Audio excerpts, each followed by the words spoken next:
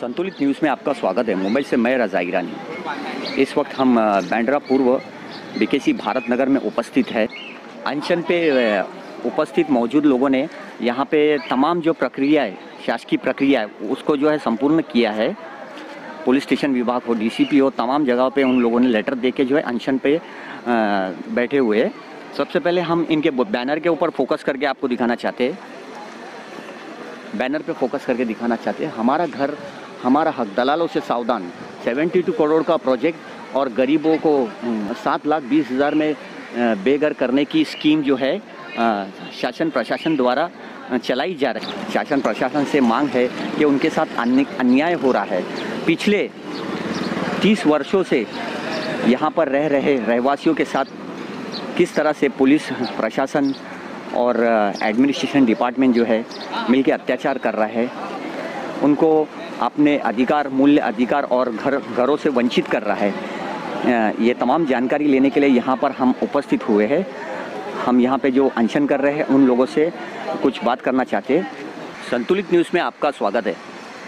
यहाँ पर उपस्थित जो, यहाँ के रहवासी है, जो अनशन पे बैठे हैं प्रशासन से, अपने हक के, अपने घर के लिए मांग कर रहे हैं। हम इनसे कुछ जानकारी प्राप्त करना चाहते हैं। किस मांग को लेकर यहाँ पे अनशन पे बैठे हुए।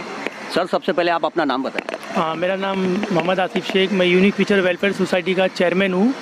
और जैसे कि मुझे ये बोलना था कि हमारे 12 तारीख को हम लोगों को बताया गया था कि म्हाड़ा का सर्वे आने वाला है। हमारे लोगों को बताया गया म्हाड़ा का सर्वे आने वाला है। और म्हाड़ा का सर्वे आते साथ ही उनके साथ में बिल्डर के आदमी भी होते हैं यहाँ पे। और म्हाड़ा का सर्वे लोगों को पता था कि म्हाड़ा का सर्वे है। सबसे पहले बिल्डर का नाम बताइए। हाँ बिल्डर का नाम है अविनाश भोसले। और उसके जो काम करने वाले हैं जैसे नबील पटेल और जाहिद बांगी और शाहिद बांगी। ये शाहिद बलवा वो लोग यहाँ पे मतलब उसका काम करने वाले हैं। और हम लोगों को बताते हैं कि हमारे का सर्वे है और उसके साथ में कंसल साइन करा देते हैं। अभी तक और अभी तक के उन लोगों के पास अभी तक कंसल कॉपी भी नहीं दी गई। और लोगों को बोलते हैं कि सात लाख बीस लो और आप लोग यहाँ से जाओ। तो जाने के बाद हमको हमारी लोगों की मांग ये है कि हम लोगों को यहाँ से जाना नहीं है। आने की कोई गारंटी नहीं है ना ही कोई लिखत में है। और वो लोग बोलते हैं कि आप लोग यहाँ से जा सकते हो लेके जाओ पैसा और बाद में थर्टी सिक्स मंथ के बाद आओ। और लिखत में हमारे लिए कुछ नहीं है ना ही हमारे लोगों को किसी को कॉपी दी गई है। और हमारे लोगों की मांग ये है कि हम लोगों को यहीं पे जहाँ पे हम पले बड़े बड़े हुए हम लोग यहीं रहेंगे और हम लोगों को सबको यहीं घर बना के चाहिए। हमारी जगह पे हमको ट्रांजिस कैंप भी यहीं चाहिए। हम यहाँ जिस तरह से एग्रीमेंट किया जा रहा है वो एग्रीमेंट में मेंशन नहीं किया जा रहा है कि आप लोगों को कहाँ पे घर दिया जाएगा? लोग लोग बोल रहे कि हमको पढ़ने के लिए तो तो पढ़ने भी नहीं दे रहे बता रहे कि म्हाड़ा का सर्वे और म्हाड़ा के सर्वे के साथ में बिल्डर आ जाते हैं लॉकडाउन पीरियड में। और उसी के साथ में सडनली 200 पुलिस आती है। और चार चार बस खड़ी होती है, हर गेट पे एक एक ब्लॉक कर देते हैं। और लोग उसके हरेसमेंट में लोगों को पढ़ने नहीं दे रहे, बोलते कि सिर्फ़ सिग्नेचर करो, ये माड़ा का सर्वे और लोग तो अनपढ़ है। जब पढ़ने नहीं दोगे, आप कुछ दोगे नहीं कॉपी नहीं दोगे तो उसमें सर्टिफाई कैसे हो गया? तो इस वजह से हम लोग बैठे हैं कि हमारी तक जो हमको यहीं घर के बदले घर चाहिए और हमको ट्रांजिट स्कीम यहीं चाहिए। जब तक हमको इस चीज़ का फैसला नहीं होगा हम यहाँ से नहीं उठने वाले हम लोग यहीं तो बैठेंगे आपने किसी भी अधिकारी से बात नहीं किया और उनसे सवाल नहीं किया कि थर्टी फ़र्स्ट दिसंबर तक आप जो है किसी भी तरह का हमारे विरुद्ध एक्शन नहीं ले सकते? हमने उनसे आईडी भी पूछा हमने उनसे ये सब सवाल करे लेकिन वो कोई कोई चीज़ का हमको जवाब नहीं दे रहे। वो किसी चीज़ का जवाब नहीं, सबसे पहली बात तो हम यही बोल रहे हैं कि महाराष्ट्र सरकार सेंट्रल गवर्नमेंट बोलती है कि लॉकडाउन पीरियड है।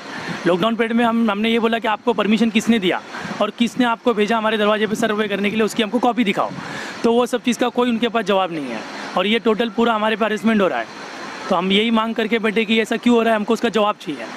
तो ये चीज़ों को लेके हम लोग यहाँ पे बैठे हुए आज क्योंकि हम कहीं भी जा रहे हैं मदद के लिए तो हमको कहीं से मदद नहीं मिल रही। हमको बैठे हुए आज तीसरा दिन हो गया। तीसरे दिन से हम हमारे लोग बीमार हो रहे हैं। एंबुलेंस तक की सुविधा नहीं है और उसमें हमको पुलिस हरेसमेंट करती है कि आप लोग यहाँ से उठो नहीं तो आप लोगों पे केस बनेगा। तो अगर हम हमारे घर की लड़ाई के लिए लड़ेंगे तो इसमें हम कौन सा क्राइम कर रहे हैं ये हमको लोग हमारी गवर्नमेंट से जवाब चाहिए।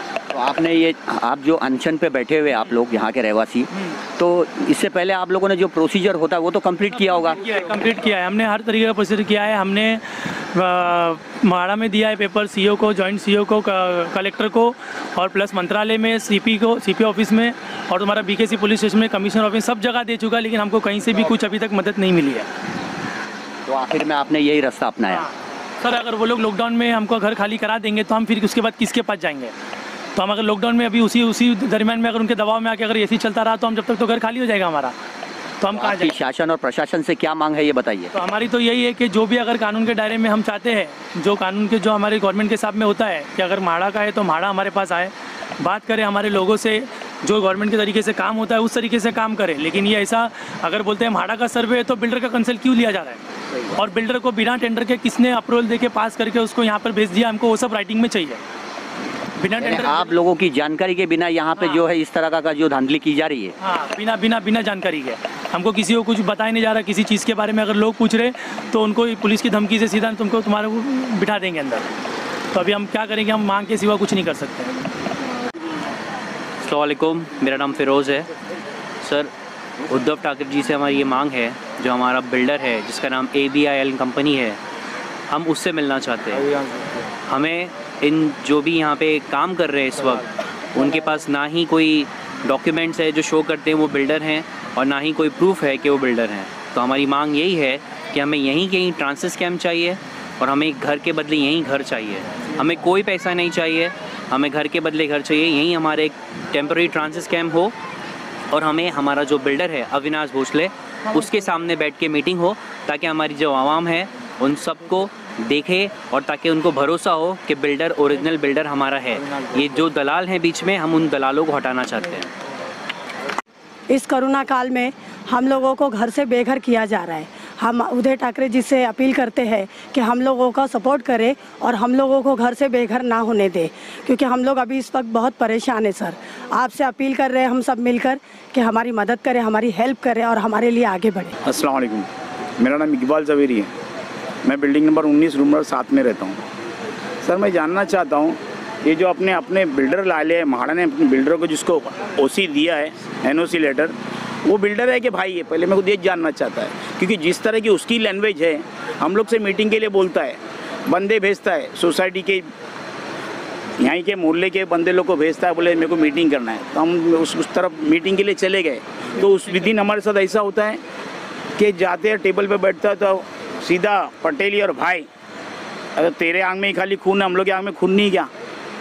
तो फिर ऐसा बोलता है डायरेक्ट बोलता है कि भाई सिर्फ़ आप लोग आके बैठे इधर, आपके पास सिर्फ़ दो रास्ते हैं। एक मेरे पास आने का और दूसरा मेरे से अगेंस्ट जाने का। और फिर मैं इसके लिए क्या कर सकता हूँ, वो मैं आपको दिखाता हूँ। और चैलेंज करके बोलता है कि आप पूरे 712 में से चार घर पे उंगली रख के दिखा दो। मैं उसको 24 घंटे में खाली करके दिखाऊँगा। मेरे मेरी ताकत देखना चाहते हो, देखो। ये चीज़ बोलता है। बाद में फिर सेकंड हम लोग फिर जाते हैं तो हम लोग फिर और एक भाई भाईगिरी टाइप बोलता है कि भाई ऐसा करो। हम लोग बोले भाई जो लीगल पेपर है दिखा हम लोग ये तरीके से जाना चाहते हैं। लीगल है तो बता नहीं तो कुछ भी नहीं। तो बोलता है भाई वटाओ पेपर इवर सब साइड में रखो। वन टू का फोर कर दो बोले। क्या है? हम लोग घर के लिए हम लोग कर रहे हैं कि वन टू का फोर करने के क्या ट्वेंटी ट्वेंटी चालू है कि आईपीएल चल रहा है क्या? आपकी जानकारी के अनुसार ये बिल्डर ना हो के गुंडा ही है। सीधी बात है ना भाई गुंडे का छोकरा तो गुंडा ही बोला जाएगा ना उसको। हाँ यूसुफ पटेल का छोकरा बोलता है अपने आप को वो तो एक अच्छा इंसान दिखा था जिसने पेरी रोड के ऊपर मस्जिद के लिए अपना घर का सोना गिरवी रखा है यहाँ तक का हमको जानकारी है। उसके बाद ये तो भाई वाला या लंदन से पढ़ के तो यहाँ हम लोग के पास नहीं है यहाँ यहाँ सुरा रहा है हम लोग?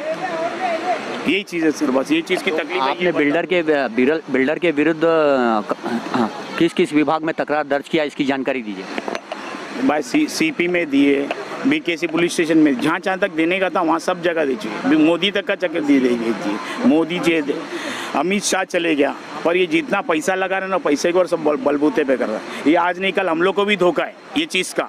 अगर इंशाल्लाह हम लोग को अल्लाह ना करे कुछ होता है ना तो सब उसके बदलो तो ही ध्यान रखना बस ये इतना बोल रहा हूँ उसके बाद वो ध्यान रख ले। अगर है तो देख ले अबे तू रह के बंदा रह के तू रहे। एक जाने देख ले तो कौन लेता बे?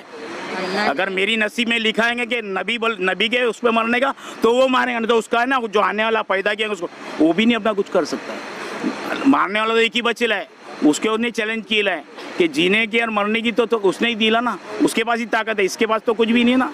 ये बस हमको खाली बस पैसों के लिए दबाना चाहता है। हम लोग को बोलता है बाद में next day third day meeting करता है सोसाइटी की और बोलता है चलो बोले ऐसा करो मैं तुम लोग को पाँच लाख ग्यारह हज़ार देता हूँ एक एक सोसाइटी मेंबर को। हम लोग कितने चौदह मेंबर हैं, बोले सबको बोले पाँच लाख ग्यारह हज़ार देता हूँ। आप लोग मेरा काम कंप्लीट कर देना और मैं तुमको अभी एडवांस में डेढ़ लाख रुपए देता हूँ। और बोले जब तक कंप्लीट होएगा पूरा टूट जाएगा पूरा प्लॉट बन जाएगा तो तुमको बाकी का पेमेंट कर सबसे पहले थोड़ा आप ये जानकारी दीजिए कि यहाँ पे जो बिल्डर द्वारा जो एग्रीमेंट किया जा रहा है वो रजिस्टर्ड एग्रीमेंट है या अनरजिस्टर्ड है? वो आपको दिखाएँगे तो समझ में आएगा ना। अगर तू नहीं है तुम्हारे पेपर में कुछ फ्रॉड तो शो करो ना उसको। एक कॉपी दो ना। क्यों नहीं एक कॉपी देते?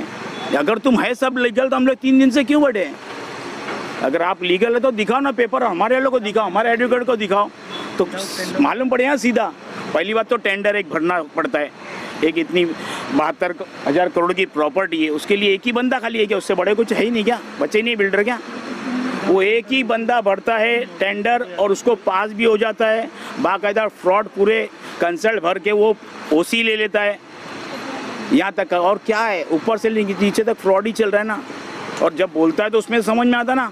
जब ये बोल रहेगा वन टू का फोर तो ये कौन सी लैंग्वेज है? मेरे को ये सिखा दो भाई कि लंडन की है कि अपने भाई की भाषा है। वन टू का फोर्थ कर दो। मैं इतना चाहता हूँ भाई सरकार से उद्धव ठाकरे साहब से यही विनती करता हूँ। गरीब गरीब लोग हैं या सात सौ बारह लोग इस पर न्याय करो। बस इसकी आगे पे आप ये मैं